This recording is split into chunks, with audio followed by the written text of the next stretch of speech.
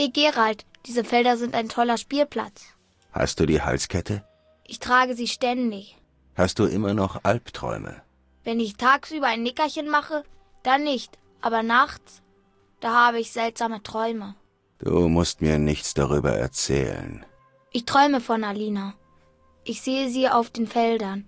Sie tanzt suchend im Sonnenschein. Sie sagt, ich soll dir suchen helfen, aber ich weiß, dass wir nichts finden. Wenn ich aufwache, kriege ich keine Luft und fühle mich schlecht. Das sind nur Albträume, Alvin. Das sind nur Albträume, Alvin. Und ich habe wieder einen Albtraum, nämlich, dass meine Haare wieder weg sind. Oh, herzlich willkommen zurück zu The Witcher mit dem Ameisenkönig. Oh, meine Fresse. Ich hasse es, wenn meine Haare weg sind. Oh, wir sind hier gerade, wollten eigentlich gerade zu den Feldern. Jetzt sind wir wieder da. Oh Gott. Bitte lass sie da sein. Ah, oh, ich hasse das. Sieht so gruselig aus wie so ein Spitzkopf. Spitzkopf. Okay, wir sind jetzt hier. Ah, Mittagserscheinung. Auf den Feldern und müssen jetzt. Warte mal, ich kann noch mal ganz kurz das hier zeigen. Bei der Quest Hitze des Tages Alina finden. Alvin hat geträumt, dass Alina im Sonnenlicht über das Felder, nee, über die Felder wandert. Vielleicht enthalten seine Worte einen Hinweis. Der Junge hat wirklich eine Gabe und kann Dinge sehen. Ich sollte Alina bei Tageslicht suchen. Äh, ah ja, es deutet darauf hin, dass ich Alina bei Tageslicht suchen soll, ja. So ist das. Hier haben wir schon zwei Mittagserscheinungen. Uah. Wisst ihr, was Mittagserscheinungen sind? Ich glaube, ich habe noch nie mal richtig mit euch hier irgendwie im äh, Ungeheuer-Glossar geguckt. Mittagserscheinungen haben wir doch mit Sicherheit, ja. Die sehen so hässlich aus. Mittagserscheinungen spuken auf Feldern und Wiesen. Sie kommen immer heraus, wenn die Sonne hoch am Himmel steht. Sie sind Geister, haben jedoch eine starke Verbindung zu der natürlichen Welt. Sie sehen die Lebenden, können sie jedoch nicht verstehen, da die Toten die Lebenden nicht hören können. Oh, okay. Ähm... Äh, ah ja, hier. Mittagserscheinungen werden zur Mittagsstunde aus Hitze, Traurigkeit und dem Schweiß von Pflügern geboren. In der heißen Luft über den Feldern versammeln sie sich, tanzen wie wild und erzeugen Luftwirbel, doch diese Geister mögen es nicht, beobachtet zu werden. Wer spioniert, wird gezwungen, mit ihnen zu tanzen. Mittagserscheinungen beenden ihren Tanz, wenn die Sonne untergeht, wenn der entführte Mann längst vor Angst und Erschöpfung gestorben ist. Oh Gott, die zwingen Menschen dazu, mit ihnen zu tanzen im Himmel. Wie grausig ist das denn? Da ist so ein Vieh. Hiya! Da soll ich das Vieh. Oh Gott, sie kommt auf uns zu. die sehen so hässlich aus. Stirb doch, du Geist oder Zombie eher. Oh ja, dick gemeuchelt. Na los, gib mir, was du hast. Ach, da kommt auch die direkte nächste. Ah, gar nicht gesehen. Oh Gott. Wie grausig. Schau mal, ich mach mal hier mal ein bisschen irgendwie dran. Einerschauung, jawohl. Zack, direkt in den Kopf. Alvin ist auch direkt mit von der Partie. Hehe, gut gemacht. Geh nach Hause. Die haben irgendwie nichts dabei. Aber okay. Es scheint gefährlich. Mittagserscheinungen schon hier. Und wir haben Alina noch gar nicht gesehen. Sie scheint hier auf dem Himbeerbeet zu sein, was... Oh, hinter dem Dingens ist, hinter dem, hinter der Burg hier. Was haben wir denn hier? Nice. Älteren Blut. Nehmen wir mit. Sonst brauchen wir nichts. Ups. So. Ja, hier das Gebiet ist eigentlich ziemlich gefährlich. Ich bin nicht weiter als dieses Gebiet gekommen. In meinem äh, normalen Spiel. Also als ich das zum ersten Mal durchgespielt habe hier, das Spiel. Vor ein paar Monaten. Also, ja. Was jetzt noch passiert, das weiß ich natürlich. Aber was danach passiert, oh Gott. Da bin ich nicht mehr weitergekommen, weil man hier die Watcher neu auf die Watcher neu trifft und die einen so fertig machen. Ihr glaubt es nicht. So, hier soll sie sein.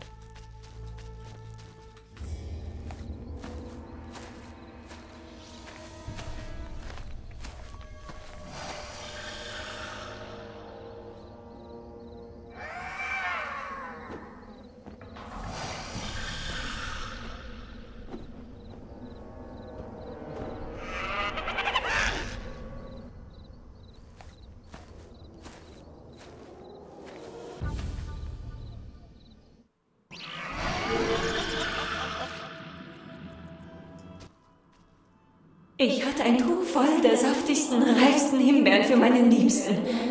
Habt ihr mein Tuch gesehen, Wanderer? Ich habe es verloren. Ähm, Ich heirate bald, muss aber meinen Liebsten ein letztes Mal sehen. Er ist sicher traurig, wenn ich ihm keine süßen Himbeeren bringe. Liebe ist Leid, ein Schmerz, der meine Seele durchbohrt. Wo ist nur mein Liebster? Kommt, rot in der Sonne. Ah, meine teure Schwester, ich weinte an deiner Schulter. Warum? Warum ist mir so kalt? weil ihr tot seid, Alina. Ihr lügt. Ich kratze euch die Augen aus. Aber Alte Olle. Ach du Heilige, die hat mich jetzt direkt abgemurkst. Ja, ich krieg dich schon. Olle, Alina ist jetzt äh, gestorben. Wie geht das denn? Ganz plötzlich ist sie tot und meine Haare sind wieder weg. Olle, Hure, du. Ich zeig dir gleich, wie tot du bist, wenn ich erstmal mit dir fertig bin. Ohne Haare bin ich einflößend. Ein, angsteinflößend, was? Haha. Zack. Mittagsbraut stand auch einfach. Nicht einfach Mittagserscheinung, sondern Mittagsbraut. Wow. Gruselig. Also ich ohne Haare. ah, Alina ist tot. Wie geht das denn? Himbeeren. Oh, Himbeeren. Davon schnapp ich mir, mal ein paar. Du. Ohne geht gar nicht. Gezockt. Ja. Noch mehr Himbeerbüsche. Zack. Zack. Und zack. Alles klar. So, dann müssen wir jetzt mal Julian berichten, dass seine liebste Alina tot ist. Oh. Hauptsache, wie ist er denn gestorben? Verstehe ich nicht.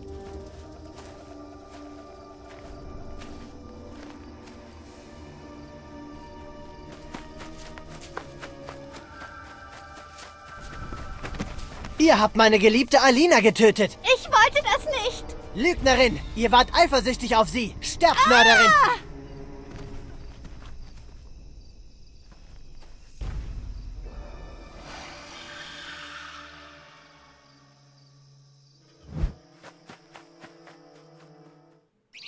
Oh mein Gott, was geht denn hier ab?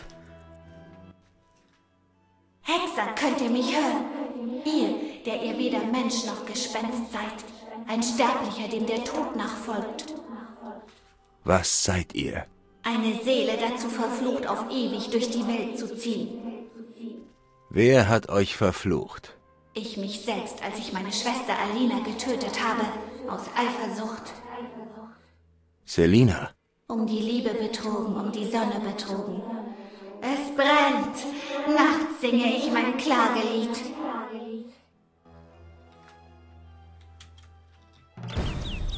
Julian muss von Alinas Tod erfahren. Hexer, könnt ihr mich hören? Ihr, der ihr was? Ich glaube, sie labert immer dasselbe. um Na toll, jetzt ist sie. Wieso ist sie denn. Die ist so eine Nachterscheinung. Was macht sie hier am, Ta am Tag? Hier, hä?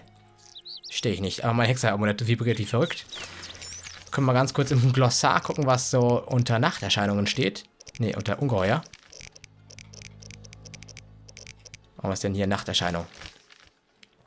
Nachterscheinungen kommen auf Feldern und Wiesen vor. Man findet sie nach Einbruch der Dunkelheit, wenn der Mond hoch am Himmel steht. Sie sind Geister, haben jedoch gleichzeitig eine starke Verbindung mit der natürlichen Welt. Ja, ja, ja. Ähm. Ah ja, das ist eigentlich dasselbe, nur halt andersrum irgendwie. Komisch, die wurde hier gerade. Hallo, der Adam kommt in Mörder. Sticht die einfach ab wie so ein Umbau. Unglaubliches. Und da ist noch eine Mittagserscheinung. Oh Gott.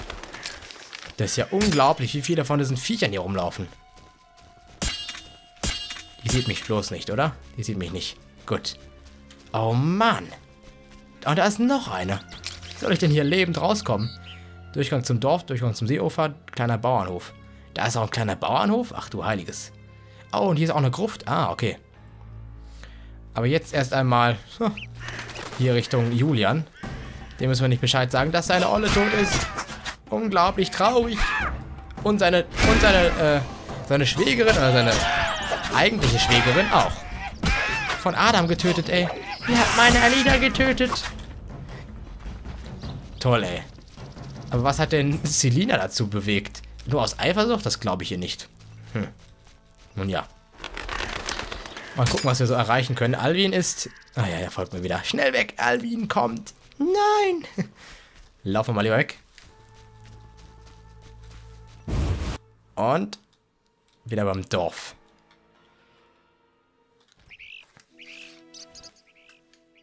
Ja? Steck den Dolch weg. Sie hat meine Alina getötet. Ich werde sie nie wiedersehen. Selina hat ihre Schwester getötet? Sie hat es gestanden. Sie haben sich gestritten und Selina hat Alina gestoßen. Meine Liebste schlug mit dem Kopf auf einen Stein. Es ist so schrecklich. Ein Unfall. Selina sagte es mir und ich konnte mich nicht beherrschen.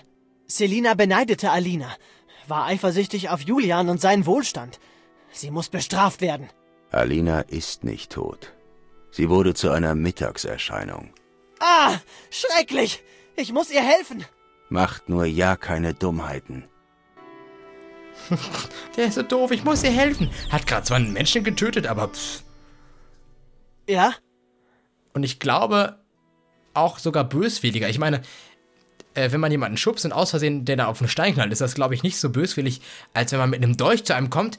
Ah, du hast irgendwen getötet, jetzt töte ich, töte ich dich und sticht ihn das auch noch. Das ist doch. Adam ist echt ein Behinderter. Adam, ihr seht fürchterlich aus. Wie sollte ich sonst aussehen? Meine Liebste erschreckt die Leute.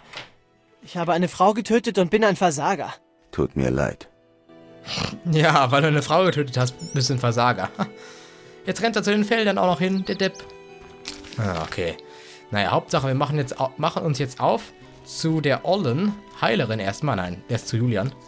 Ah, der wird erstmal komplett weg sein. Scheiße, meine Olle ist weg. Oh, hätte, hätte doch lieber beide geheiratet, ne? Das wäre, glaube ich, die beste Lösung gewesen. Geht das überhaupt hier? Weiß ich nicht.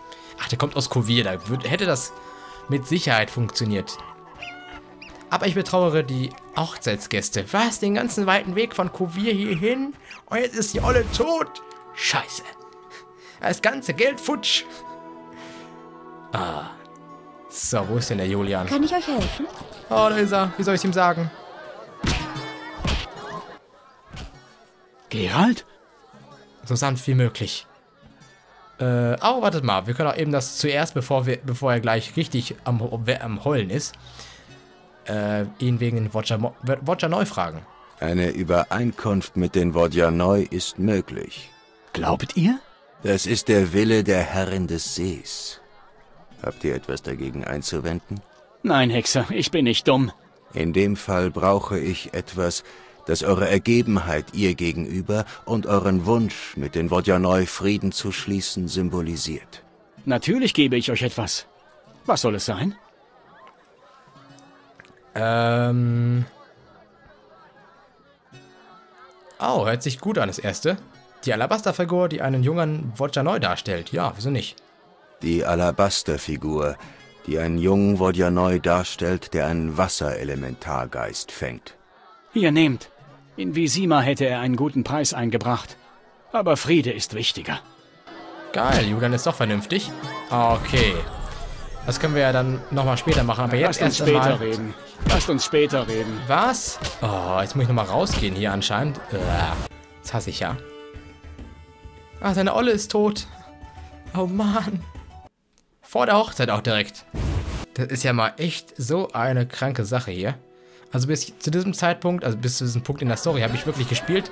Weiter, wie es weiter weggeht, weiß ich wirklich nicht. Das sei nochmal gesagt. Gerald? Ich sollte Alina finden. Habt ihr sie gefunden? Ja. Das ist wunderbar. Geht es ihr gut? Setzt euch und trinkt etwas. Alina ist tot. Sie wurde zu einer Mittagserscheinung, einem Dämon. Sie ist tot? Ich weiß, das ist schwer. Aber wir müssen etwas unternehmen. Wenn wir nicht handeln, werden Leute auf den Feldern sterben. Verstehe. Tut, was ihr könnt. Ich bezahle euch. Das kostet aber mehr als einen Silbergroschen. Tut, was getan werden muss, Hexer. Und macht es, wenn möglich, schnell und schmerzlos. Ich versuch's. Wisst ihr, ich glaube an die Vernunft, nicht an die Götter. Und doch betete ich zur Militele, dass ich Alina wiedersehen würde. Ich fühlte mich elend, voll Widerwillen. Ich brauchte wohl Zeit, um zu akzeptieren, dass meine Alina tot ist. Gerald, wie ist das passiert? Selina hat sie getötet. Wahrscheinlich aus Versehen. Sie ist ebenfalls tot. Wie das? Ähm, ich glaube, wir sagen ihm die Wahrheit.